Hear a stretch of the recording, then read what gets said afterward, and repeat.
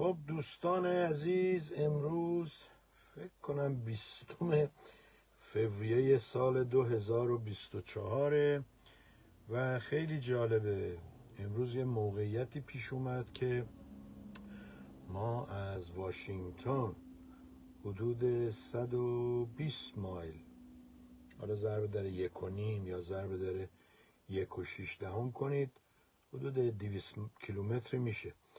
بیایم به طرف جنوب واشنگتن و به دیدار حضرت عجل آقای جفرسون بیایم. و گفتیم خب ما که چهل سال تقریبا داره میشه چهل سال سی و هفت سال توی مملکت هستیم. نیومدیم. حالا که میایم اینجا یه سری هم بزنیم به این خانه آقای جفرسون این مزرعه که داشته یا هرچی برده داشته و نمی‌دونم. به نام مونتچلو و اینم از همون چیزایی که مونتسیلو می نویسن ولی مونتچلو می‌خونن. مثل همون ویالونی هست که میگن چلو ولی سلوه. برم بگذاریم از این حرفا. خب ما یه مدتی نبودیم. دیروز دیدم که آقای مسعود کردار لطف کرده بود یک ویدیویی رو از یه نفر گذاشته بود بعد نوشته بود که حرفای خوبی می‌زنه ولی یک کمی شاه دیوانه است. گفتیم خب اگه حرفای خوب می‌زنه شما حرفای خوبشو بشنو اگرم پیشنهادی می‌کنه عمل کن. چی میگن اینا؟ راه حلشون چیه؟ ویدیو رو یکم تماشا کردم دیدم یه مشتی فوش داد به آخوند و خب که چی حالا؟ تو اومدی فوش دادی دق دلیت خالی شد رفتی. دوباره فردا چی؟ و از اون ور می‌بینیم که آخونده الان دارن هر چی که در توانشون هست به اصطلاح انجام میدن تا مردم رو برای یازده اسفند اگه اشتباه نکنم الان آخرین روزهای بهمنه. بیارن پای صندوق رای البته این صندوق رای برای رئیس جمهوری نیست برای نماینده های شهر و اینا هست ولی هیچ فرقی هم نمی‌کنه. مردم دیگه خسته شدن از اینکه برن رای بدن و بعد اونایی که تا دیروز قول دادن حالا میان یه چیزای دیگه بگن یه کارهای دیگه بکنن. تازه از مردم طلبکارم میشن. به جایی که نوکر به اصطلاح مردم باشن و برای اونها کار کنن طلبکار مردم هم میشن و شروع می‌کنن سو استفاده کردن. شروع می‌کنن افراد خانوادهشون رو میارن بهشون شغلای همینجوری میدن دفتر و دستک و حقوق بگیرن و الا آخر. ولی یه چیزی هم من این وسط بگم دوستان خودمون همه ایرانی هستیم همه همدیگر رو می‌شناسیم. هر جا میریم میگیم با ایرانیا معامله نکن ایرانیا اینجور اونجورن. از اون ور هی میگیم که از اون ور هی میگیم که نمی‌دونم ما هم مثل جوامع دیگه مثل ملیت های دیگه قومیت های دیگه همدیگه رو پشتیبانی کنیم و هممون شعار میدیم ولی عمل نمی کنیم آمریکایی همین حرف رو دارن که فکر کنم حافظ گفته واعظان کین کین هرچی بر منبر می‌کنن چون کین جلوه بر منبر می‌کنن یا چیز چون به خلوت میرون آن کار دیگر می‌کنن اینجا میگن میگن که پریچ می‌کنه حرف می‌زنه مردم رو تشویق می‌کنه ولی در عمل یه کار دیگه انجام میده و کارش با گفتهاش برابر نیست. ولی بیایم خداییش کلاهمون رو قاضی کنیم. بگیم که مثلا این جریان اخیر نمی‌دونم تلفن کوروش. اولا یکی با آب و تاب داشت توضیح می‌داد که اینا وقتی می‌خوان یه چیزی رو خراب کنن اسمای ایرانی استفاده می‌کنن. وقتی می‌خوان یه کسی رو خوب کنن اسمای مسلمونی اکبر و نمی‌دونم حسن و حسین و قاسم و ماشالله و غلام و این چیزا چی می‌کنن؟ اینا اصلا دیگه مسئله نیست. مسئله اینه که دوستان ما از خودمون بپرسیم کسی که میره پول می‌ذاره برای تلفن. یعنی چی؟ یعنی تلفن رو امروز احتیاج نداره که بره یه تلفن ارزون بخره. میاد 20 میلیون 25 میلیون میده دست یه آدم شارلاتان برای تلفن آیفون 13 اصلا دیگه حالا اینجا آیفون 13 اصلا گذشت ابسولیت شد به قول معروف. متروکه شد. حالا تو ایران سر و دست میشکنن. میرن پول می‌ذارن پیش پیش پول میدن. اون آقا هم میلیاردها تومن پول رو ورداشته و در رفته. ببینید دوستان اون آقای کوروش یا هر کسی که اسمش هست پشت این شرکت از چی سو استفاده کرده؟ از خام تمعی مردم. از ما شیرازی ها میگیم تمخام تمخم میگیم اصلا تمخام هم نمیگیم. از هرس زدن مردم از گریدی بودن مردم که من که تلفن دارم بیام یک به اصطلاح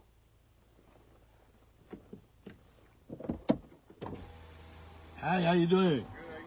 Very good. Nothing. After 39 years in America, I decided to come here. And when I came here, it's closed. Yeah, we're Now- usually closed on Tuesdays. Oh, okay. It doesn't say when it's open. I sent it to my daughter. My daughter said, when it's open? I said, I don't know. It'll be tomorrow morning, uh, 10 o'clock. Oh my God, I'm, I'm leaving tonight. I go back to DC, 8 o'clock.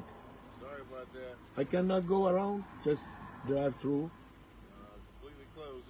Oh, okay. You got you got plenty more time. Just come back another day. All right. I come back with my family. Yeah, that's even better. Thank you for Everybody us. experience. All right. Okay. Now I'm live on Facebook, Oh, okay. talking with my friend in Iran. All right. Hopefully. Thank you for stopping by and asking me. You take care. یا این آقای وایساده میگه که مشکلی داری؟ گفتم مشکلمون ایرانی بودنه می‌تونی حلش کنی؟ یا ایران رو درست کنی؟ یا این ایرانی بودن رو. یه نفر نوشته بود من چجوری می‌تونم citizenship ایران رو پس بدم؟ گفتم شما پاسپورت تو شناسنامه تو کارت ملیت بیار. فکر سعید کاووسی نوشته یه نفر رو برای من فرستاده بود. برایش نوشتم سعید جان بهش بگو شناسنامه و کارت ملی و اینا رو بیاره و من براش همه رو آتیش می‌زنم. صد دلارم باید پول بده بعد ما با این صد دلار میریم آبجو می‌خوریم. یه نفر برای شاهین نوشته بود که چی؟ بابات که پول آبجوش در اومد رفت. حالا ببینم تو چه کار می‌کنی؟ واقعا چقدر بعضیا پستن. اینجا میگن low life پس فطرتن. که حالا شاهین جوان از آلمان اومده گفته آقا تو پیر شدی خسته شدی و تو تنها کسی هستی. که تو رادیو تلویزیون های ایرانی میگه آقا من 25 سال بودم. هرچی باید می‌گفتم گفتم. به جایی هم نرسیدیم. حالا بیا این میکروفون رو یه نفر دیگه بگیره. اون صحبت کنه. شاید اون یه راهی چاره ای چیزی بلد باشه. اون وقت یه مشتی آدمی که همشونم پشت اسمای قلابی عکسای قلابی. یعنی اینا به غیر از اینکه پس فطرت هستن ترسو و بزدلم هستن. و از خودشون نه خجالت می‌کشن اینقدر که چون شعور و معرفت دارم یعنی از قیافه خودش بدش میاد خجالت می‌کشه. از شغلی که خودش داره خجالت می‌کشه. از شغلی که پدرش داره خجالت می‌کشه. به همین خاطر قایم میشه جو پشت شغلای قلابی عکسای قلابی و الی آخر. در هر صورت دوستان این ماجرای تلفن تلفن آیفون 13 بفروشن 20 میلیون بفروشن 25 میلیون. این مرتکه صادق بوغی و یه مش سلبریتی هنربند نه هنرمند هنربند احمقم بیان تبلیغشون کنن. خب اونا که بازشون معلومه اونا اومدن یه پولی بگیرن برن. اگه یکشون بهش... یکی بهشون بگه آقا یکم دلاشو رب ساعت نیم ساعت ما از رود بپریم این پولو میدیم اون کارو می‌کنن. پس به اونا نمیشه ایراد گرفت. اون برای پول هر کاری می‌کنه تا حالا نشون داده. خانمه اومده هنرپیشه شده به عشق شهرت و پول خودشو گاه داده خودشو وا داده. برید الان اون خانم کیه نمی‌دونم میاد با علیرضا امیر قاسمی صحبت می‌کنه. الان بعد از چند سال شده 24 سالش. از 16 سالگی ببینید با این چه کار کردن. توی استودیوهای مختلف توی نمی‌دونم فیلم های مختلف طرف کارگردان تهیه کننده خودش زن داشته اینو برده بعد حالا زنم ازش طلاق گرفته و اینا بگذریم. آقا خانم چرا به خودمون دروغ میگیم همون ماجرایی که در هالیوود هست و بود و منجر شد به میتو در ایرانم بوده و هست و خواهد بود. من یه هنرپیشه قدیمی که کارگردانم بود و اینا چند سال پیش آمد در تلویزیون. وقتی قبل از اینکه برنامه شروع بشه بریم نشسته بودیم چایی میخوردیم یکی آبجو می‌خورد و فلان اینا. قشنگ خودش تعریف کرد. گفت وقتی که صحنه های عشقی رو میساختن بعضی وقتا ما کنترل از دستمون بیرون می‌رفت و اونا مجبور بودن از اون صحنه برن بیرون تا ما کارمون رو انجام بدیم. آقا این تو ذات بشره. بابا مگه خودتون نمیگین پیغمبر رفته نمی‌دونم چی بوده؟ با عروسش با عروس از این ماجراها. مگه نشنیدیم نخوندیم با کنیزش با نمی‌دونم از این گوگن بازی ها حالا این ماجرای تلفن ولی برگردید اینایی که هی میان میگن مال باخته.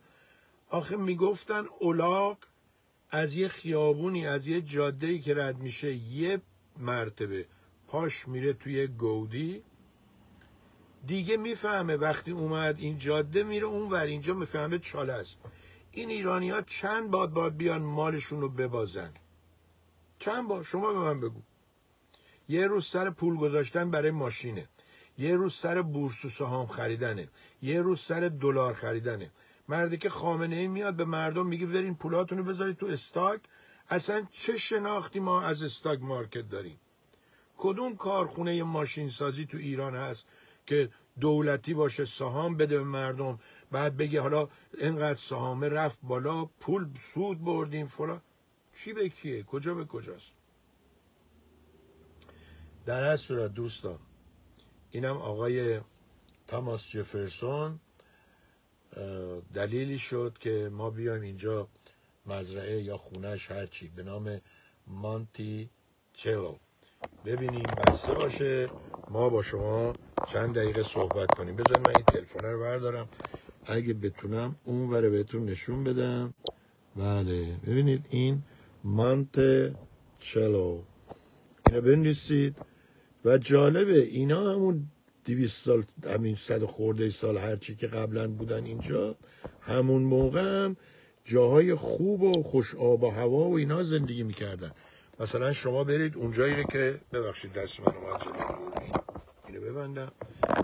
اونجایی که جورج واشنگتن زندگی می‌کرده که الان به نام ماونت ورنون هست نگاه کنید از اون آسیابش گرفته از اون مزرعش گرفته از اون جایی که برده ها رو نگه می داشتن از اون جایی که اسباشون رو نگه می داشتن و آقای واشنگتن هم خودش معروفه به ساختن ویسکی. و چند سال پیش هم دوباره شروع کردن ویسکیاشو ساختن.